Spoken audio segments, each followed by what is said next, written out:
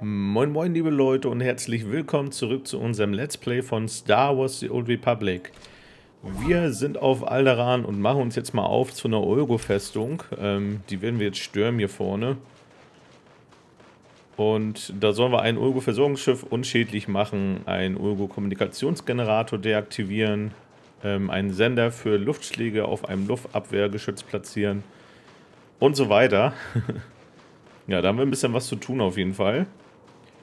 Ich würde sagen, wir gehen mal hier hoch und äh, gucken mal, ob es hier auch eine Bonusmission gibt. Wovon ich, wovon ich fast wieder ausgehe.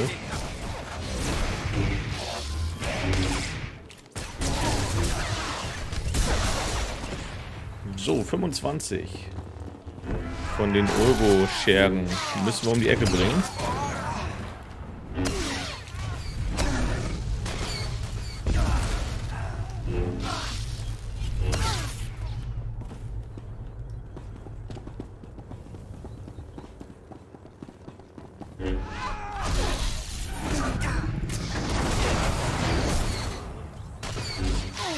Also wir sollen hier wirklich ein bisschen Chaos stiften bei denen. Ähm, die Quest haben wir in der le letzten Folge im Außenposten bekommen. Und hier steckt das Haus Tool wieder hinter. Ja, die bekriegen sich immer mal mit so einem, äh, mit den ganzen anderen Häusern hier. Ulgo oder Organa. Ich glaube, ein Haus gibt es noch. Und wir sorgen natürlich dafür, dass hier das Haus Tool die Oberhand bekommt und behält.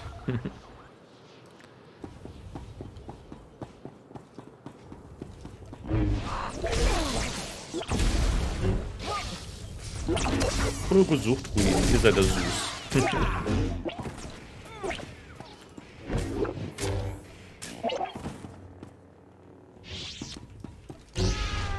so, hier ist noch ein Sergeant.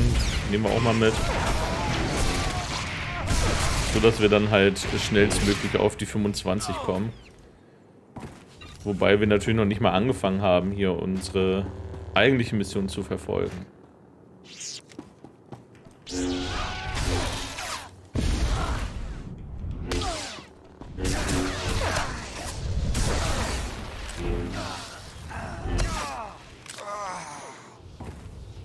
Hm. So, der ist gar nicht erst umgefallen. Er dachte sich so, ich sterbe einfach im Stehen.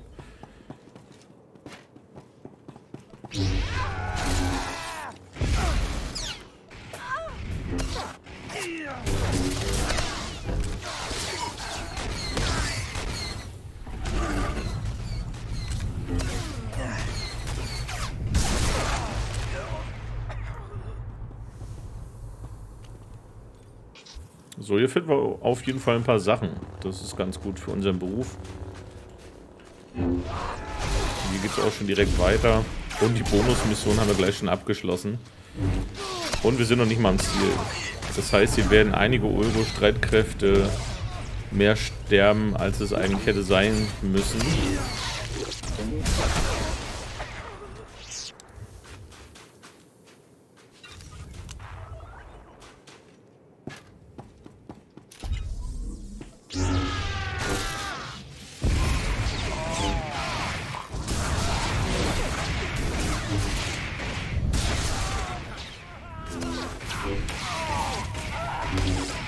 So, und mit dem Tod dieses Sergeants haben wir dann die Bonusmission schon mal erledigt.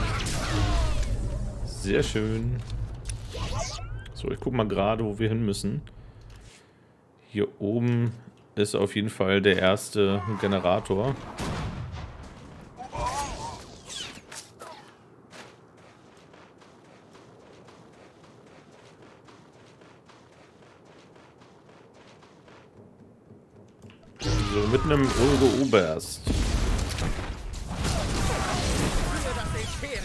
Der kann uns leider auch nicht aufhalten. Was heißt leider? Äh, zu seiner, zu seinem Negativen natürlich, dass er uns nicht aufhalten kann.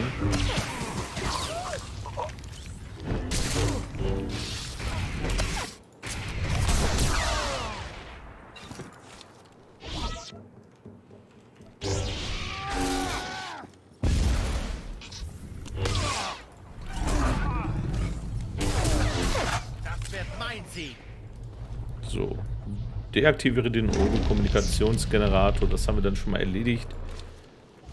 Und um weiterzumachen, müssen wir, glaube ich, hier erstmal durchgehen. Das Computerterminal würde ich noch mitnehmen.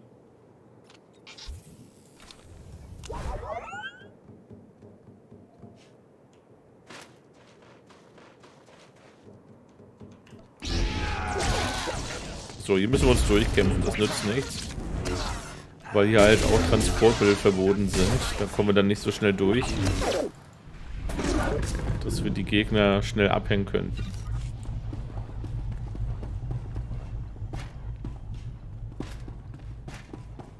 Aber hier kriegen wir noch eine Kiste als Belohnung.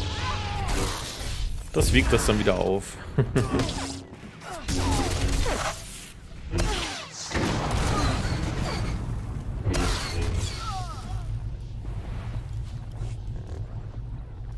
ein, eine Ingenieurskappe von Alderan. Oh ja. Die brauchen wir nicht unbedingt. Ihr seht schon, wir finden auch wieder einiges, was wir einfach nur verkaufen werden. Aber ich bin froh, dass wir über den Handelsmarkt wieder ordentlich Kohle gemacht haben. So für die ein oder anderen blauen Gegenstände. Auch wenn die teilweise gar nicht gut sind. Also ich würde es mir nicht kaufen. Vor allen Dingen nicht für diese Preise. Aber es scheint doch einen Markt dafür zu geben.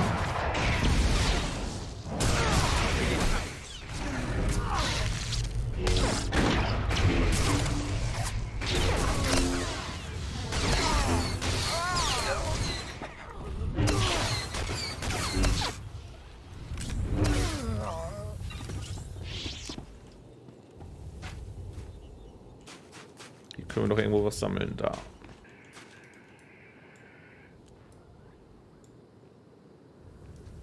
So, mache ein Urgo-Versorgungsschiff unschädlich. Das können wir hier machen.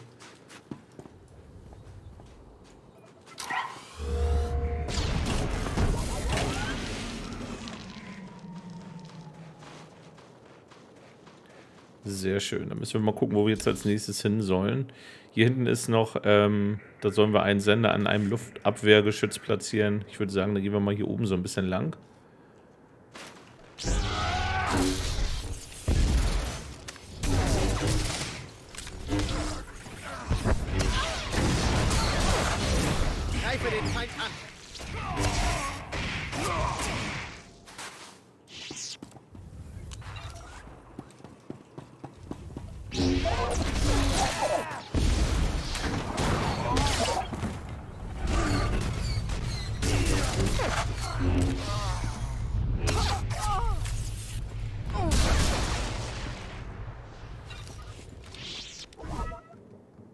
So, hier geht nochmal eine große Brücke rüber.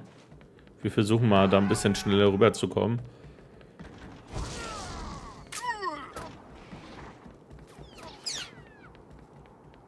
Einfach, weil wir die Gegner nicht unbedingt eliminieren müssen.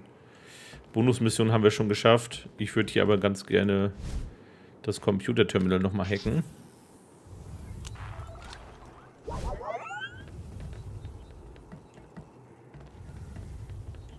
Haben wir hier noch? Noch eins.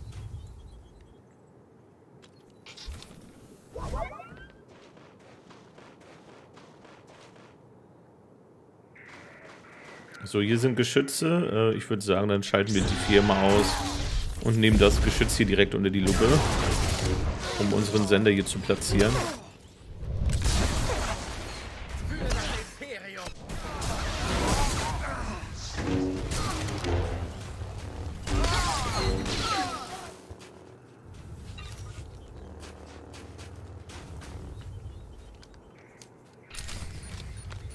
Kehre zu C86 zurück.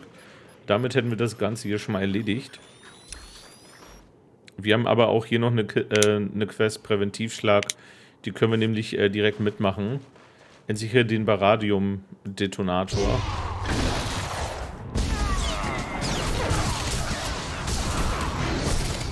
Ihr müsstet nämlich diesen ganzen Weg hier sowieso laufen, um in diese Festung zu kommen, weil die auf so einem Hügel äh, liegt und ja, wie gesagt, ihr kommt halt nur über diese Brücken hier zu dieser Festung. Daher ist das gar nicht verkehrt mit dieser zusätzlichen Quest hier. Die schickt uns dann so ein bisschen auf den richtigen Weg.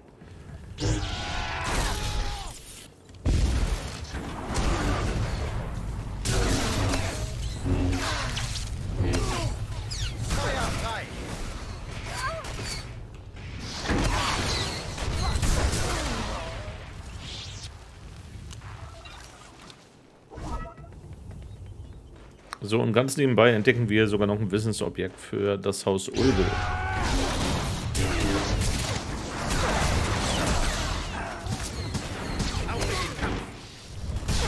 Müssen wir uns halt nur noch ansehen.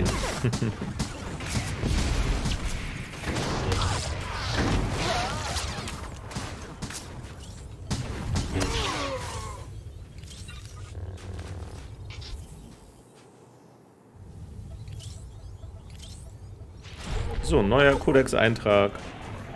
Und das Haus Ulgo haben wir entdeckt.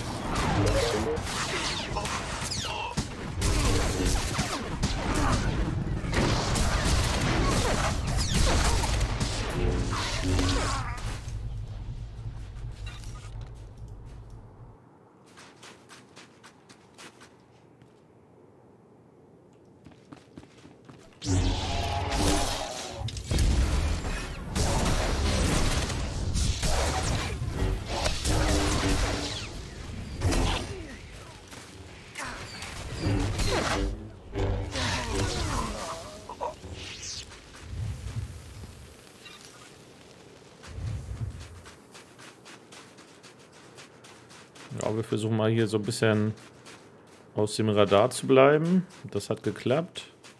Und hier sollen wir dann auch schon die Quest erledigen. Den Detonator entschärfen. Ui, und hier haben wir direkt eine Bonusmission. 15 dieser Euro-Schergen sollen wir töten. Mal sehen, ob wir die 15 denn hier zusammenbekommen. Sieht jetzt nicht so groß aus, der Bereich hier. Ah ja, doch. Das ist eine große Lagerhalle.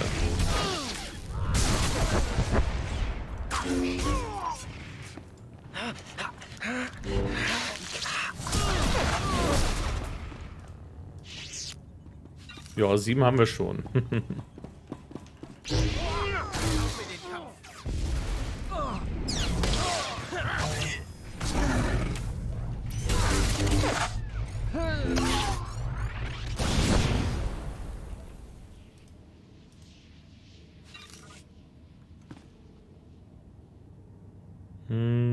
müssen hoch. Ich würde gerade hier noch mal ein paar Gegner killen. Jetzt sehen wir hier von hier auch noch, ob da oben welche stehen. Da stehen auch noch welche. Okay, dann können wir nach der Gruppe hier nach oben schon mal gehen. Und mit den restlichen Gegnern oben haben wir dann auch die Bonusmission erfüllt.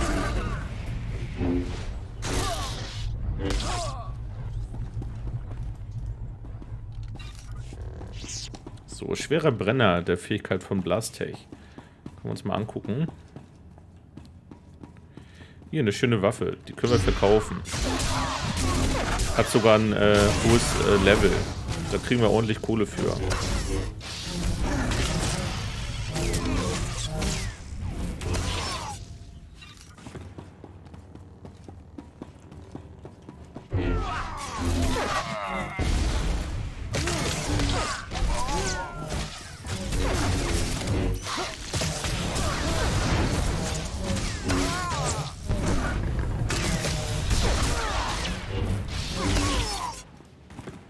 So, Bonusmission ist abgeschlossen und hier ist der Detonator. Da müssen wir den Druiden hier leider noch aus dem Weg räumen. Aber der ist auch keine große Gefahr für uns.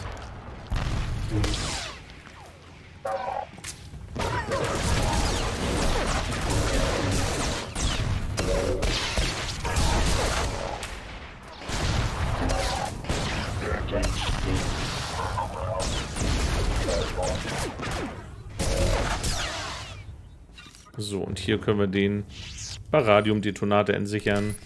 Schließlich im Schutzraum ein. Ja, jetzt aber schnell.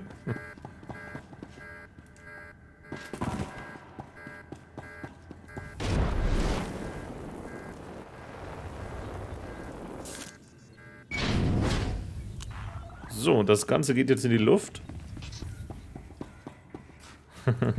da seht ihr schon. Und wir können jetzt zum Außenposten zurückkehren. Ähm, da gucken wir mal, wo wir am besten langlaufen.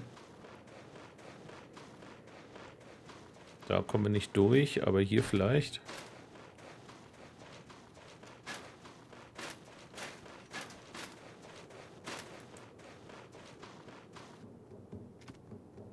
Ach, guck mal, von hier gibt es auch noch einen Zugang zu der Base. Da muss man nicht unbedingt den langen Weg gehen, den wir jetzt gemacht haben. Aber wir haben ihn ja gemacht, weil wir die andere Quest auch noch mitmachen wollten.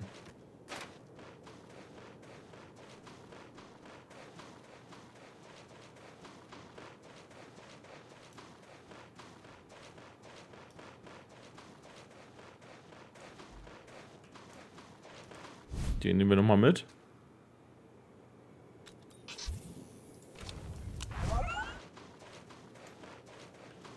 So, C86.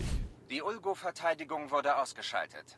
Die Festung wird bald unter der Kontrolle des Imperiums sein. Diese Einheit bringt dem Sith Lord Dank entgegen. Aktueller Status erleichtert. Außer Betrieb gesetzte Einheiten gerecht. Kernabschaltung beginnt. Sehr schön. Jetzt können wir hier nochmal was looten. Mal gucken. Tresor wahrscheinlich. Jo. Dann würde ich die gleich nochmal öffnen. Aber wieder ein paar Credits. Auch wenn es immer nicht viel ist, aber kommt halt alles mit aufs Konto. so. Dann sprechen wir mit Stanley Tool. Danke. Ihr habt das Haus Tool erneut gerettet und unser Land vor Tod und Verwüstung bewahrt. Die Fähigkeiten der Sith entziehen sich wahrlich unserer Kenntnis. Keine große Sache. Ich habe nicht mal geschwitzt. Dann müssen wir uns umso mehr vor euren Fähigkeiten verneigen. Denn sie sind größer als die unserer Truppen. Die Ulgos ziehen sich zurück. Daher kann ich all meine Truppen dazu einsetzen, die Killix zu vernichten, bis auf die letzte zuckende Larve. Meine Vorgesetzten haben nach euch gefragt. Im Haus Rist gibt es einige Intrigen. Und das bedeutet Ärger für unsere Verbündeten. Wenn es euch interessiert, haltet nach Dates Elgin Ausschau. Moff Sarek hat euch bereits empfohlen. Ja, das machen wir natürlich auch noch, Leute. So, wir schauen erstmal, wo wir hin müssen. Oh, wir kriegen hier noch eine Quest. Muss ich mal gerade schauen, wo der sich befindet. Da unten ist er. Captain Tate. Mein Sith Lord. Ich habe keine Zeit für die angemessenen Respektsbezeugungen. Überall um den Grenzposten herum sterben Leute. Und es ist kein einziges Medikit aufzutreiben. Das Haus Organa hat Sanitäter unten am Fluss. Jemand muss ihre Vorräte beschlagnahmen und sie zum Grenzposten bringen. Sonst sterben unsere Leute. Ich hole euch eure Medizin. Das klingt nach einem Plan. Danke. Es bleibt nicht mehr viel Zeit. Bitte beeilt euch. Medizinischer Offizier Willem erwartet euch.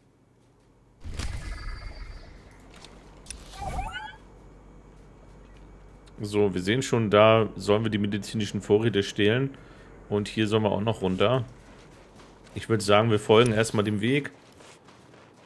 Und schauen mal, was wir hier nebenbei noch aufdecken können.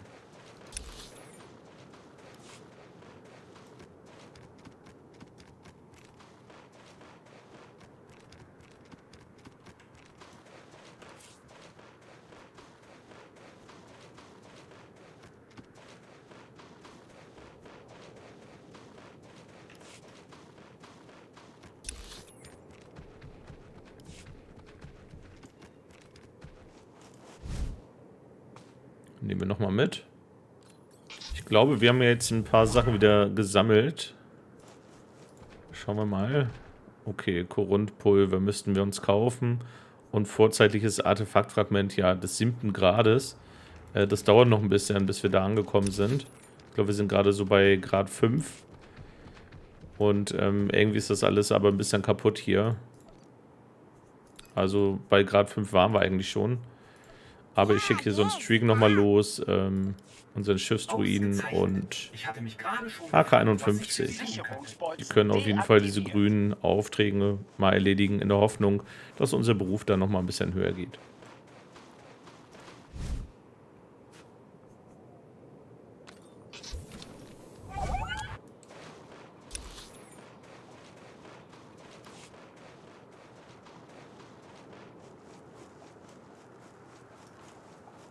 Ja, die Kristall lassen wir mal.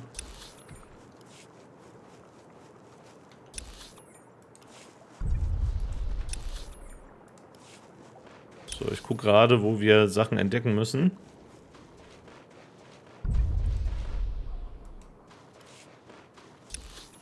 Okay, hier müssen wir auf jeden Fall in die Festung rein, um die Quest hier zu erledigen. Jemand zu Hause. Finde Leni Renata.